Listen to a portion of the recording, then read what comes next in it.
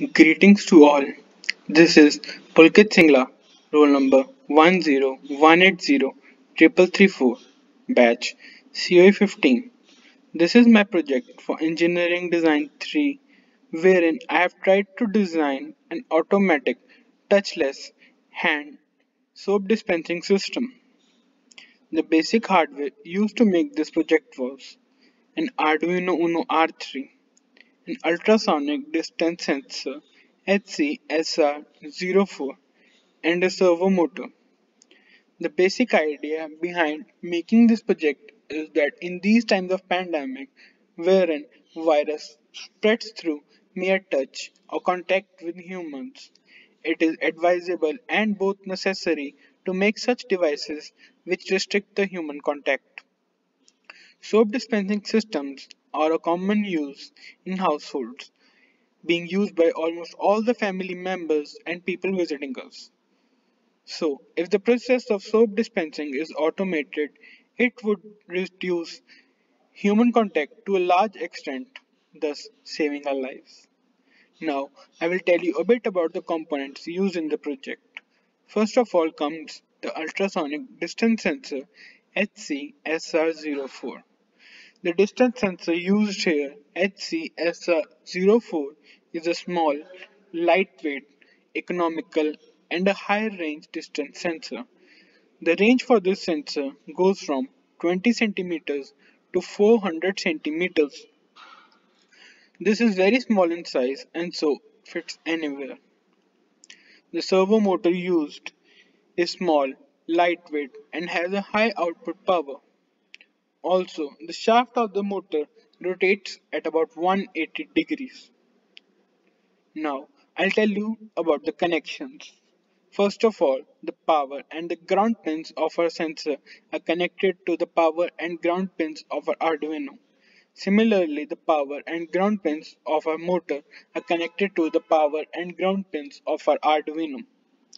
Then, the trigger pin of our sensor is connected to the digital pin number 10 of our Arduino whereas the echo pin is connected to the digital pin number 11 of our Arduino. The signal pin of our motor is connected to the digital pin number 9 of our Arduino. Now let us talk about the code.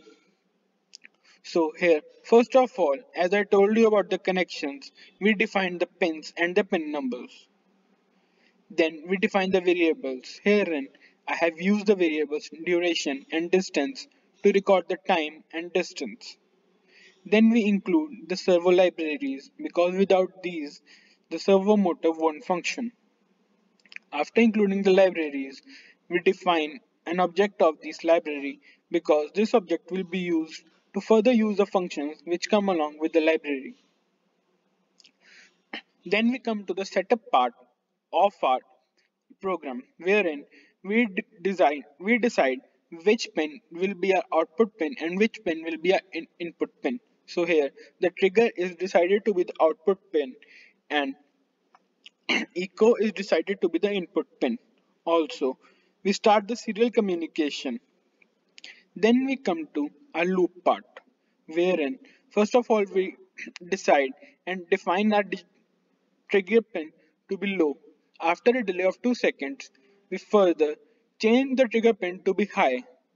After again a delay of microseconds of 10 microseconds, we again define the trigger pin to be low. Then, using the echo pin, we read its values and return the sound wave travel time in microseconds, which is then fed into the duration variable. This duration variable is used to calculate the distance which is done using the formula duration into 0.034 by 2. Now here the 0.034 is the speed of sound in air in centimeters in microseconds and it is divided by 2 because of reflection. Then we print the distance which we have calculated above. Then we come to the servo motor part. Now herein we firstly predefine a distance if a person puts his hand between the dispenser and the certain dis uh, defined distance Only then the dispenser will dispense the soap. Here we define the distance to be 30 centimeters. If the distance is 30 centimeters or less, that is, a man puts his hand 30 centimeters or less away from the sensor, only then it will dispense the soap. When the distance is less than 30, it sets the servo shaft in stages from 0 to 180, rotating the shaft 45 degrees every second. After each rotation of 45 degrees, there is a delay of 1 second, and after it has completely rotated to 180 degrees, there is a delay of 3 seconds. After this delay of 3 seconds, the shaft comes back to its original position and after a delay of 5 seconds. Further, if any other person puts his hand, again the soap dispenser dispenses the soap. This is how my project works. Now I'll show you the simulation. Now, here my project has initialized, that is the simulation has initialized. Now for the first second, the shaft has rotated to 45 degrees. Now after another second has passed, the shaft again rotates. And now, here, after passing of seconds, it comes back to its original position 0. This is how the project works. I hope you like it. Thank you.